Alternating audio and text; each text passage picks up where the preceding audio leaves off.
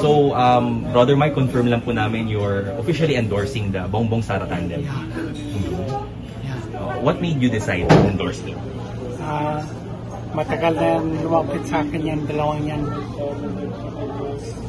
Lalo na si Bongbong.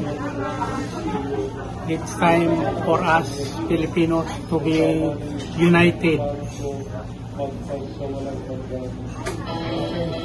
After all, napagbigyan natin yan yung makalaban ni Marcos ng maraming taon.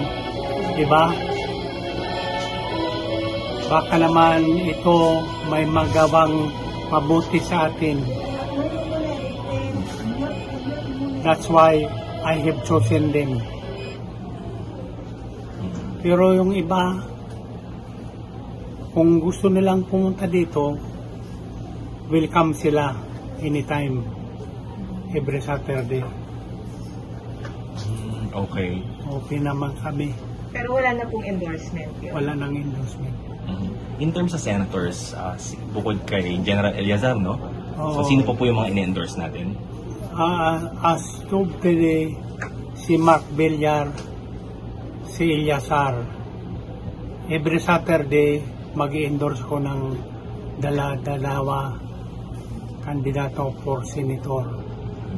Up to 14. Normally, 14 ang binibigay ko sa tao. Mamili sila doon sa labing apat na yun. Um, Brother Mike, what kind of uh, support will you give uh, the Bongbong Sara Tandem, given that you're now endorsing them?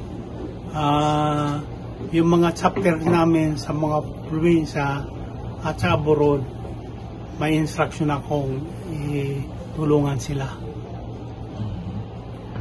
Sa ngayon ba, how many million members yung uh, registered voters rin natin? Ilang votes ang may pledge natin? Hindi ko may estimate ngayon. Panahon ni Irap, 2.5 billion ang nabigay ng sa kanya, kanya kay Irap. That was in 1998, di ba? Mhm. Okay. Ah, sir, anong qualities po ba yung nakita nyo kay Mr. Marcos and Mayor Duterte? Kaya sila po yung pinili. Una, open-minded sila. Pangalawa, panahon na para magkaisa tayo, Pilipino. Pangatlo, mga bata pa sila. Bukod po ba sa kanila, may iba pa kayong kinonsider bago nyo sila napili? Mayroon, actually, actually kinoconsider ko sa lahat.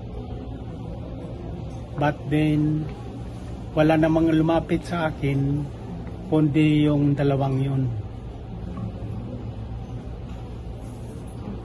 Kung hindi ka man kailangan, bakit mo susuportahan, di ba?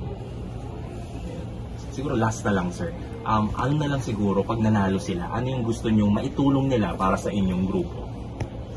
Hindi lang sa grupo na grupo namin, kundi sa buong bayan. Kailangan masolusyonan nila. Kaya lang, hindi pwedeng gawin nila yung kung walang suporta ang bayan. Kaya kailangan magkaisa tayo suportahan ang sino mang namumuno sa atin. Yan ang personal policy ko in philosophy.